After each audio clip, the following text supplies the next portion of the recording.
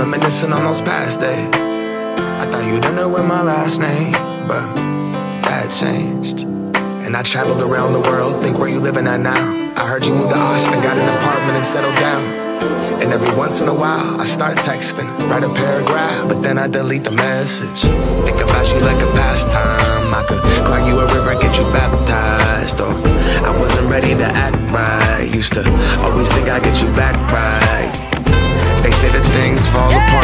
We were gonna move to Brooklyn, you were gonna study art. Love is just a tool to remind us who we are,